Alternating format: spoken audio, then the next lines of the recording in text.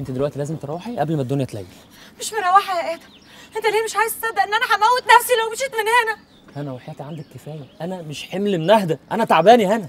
خلاص يبقى ريح نفسك واتجوزني. تاني يا هنا. آدم أنا عندي 21 سنة. يعني مسؤوله عن نفسي وممكن أتجوز.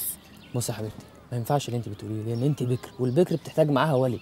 حتى حبيبتي لو ينفع مش دلوقتي. وبعدين يا حبيبتي لو جبنا مأذون هياخد بياناتي عشان الإجراءات.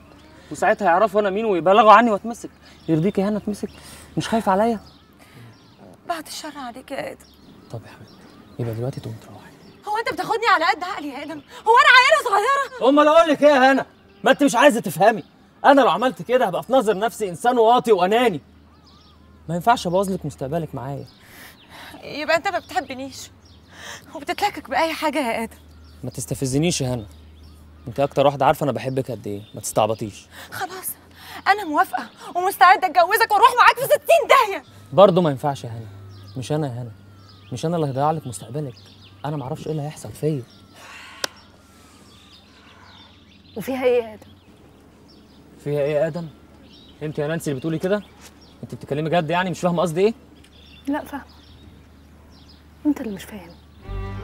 مش فاهم إن الإنسان بيعيش مرة واحدة بس. حلوة وحشة صعبة سهلة هي مرة واحدة بس.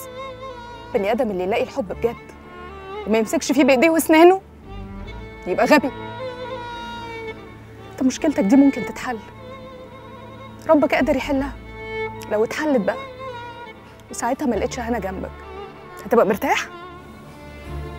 ولما أنا أظلمها دلوقتي هبقى مرتاح؟ ومين قال لك إنك هتظلمها معاك يا ابن أختي؟ ده بقول لك تفاءلوا وتجدوا مش انت اللي علمتني التفاؤل يا آدم؟ فاكر؟ ويل لمن لا يريد أن يحيا مرفوع الرأس. في عصر انحنت فيه كل الرؤوس. مش انت اللي علمتني دي؟ مش انت اللي كتبت بإيدك؟ لا. آدم اتوكل على الله يا ابن أختي وخليها على البركة كده واكتب عليها عرفي. عرفي؟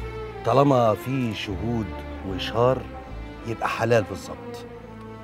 وانت ظروفك دلوقتي ما ينفعش انك تكتب فيها شرعي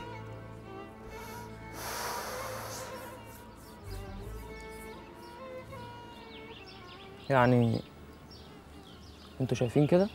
أيوه. أنا بقى مش شايف كده. وكلامي انتهى.